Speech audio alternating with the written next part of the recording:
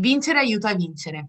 Eh, sostanzialmente io credo che i ragazzi abbiano solo bisogno di eh, finalmente ottenere la, questa vittoria che stanno inseguendo da tanto.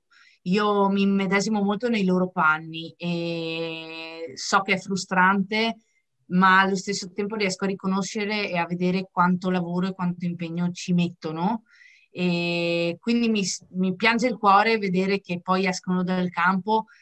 Sì, eh, delle volte credo con delle, ci sono state delle sconfitte probabilmente, eh, no probabilmente, immeritate per il gioco che si era visto. E quindi mh, mm, sì, credo, credo che sì, non, non sia effettivamente giusto fare un paragone e quello che auguro a loro è di ottenere presto questa vittoria che se la stanno sudando veramente in ogni modo, ecco. Con Luca ho avuto anche di recente degli scambi molto interessanti, poi per interviste, eccetera, eccetera.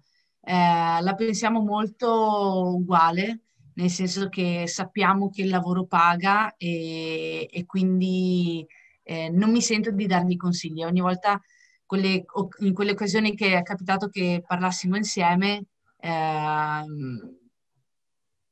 è, lui, è stato più lui quasi a dare consigli a me.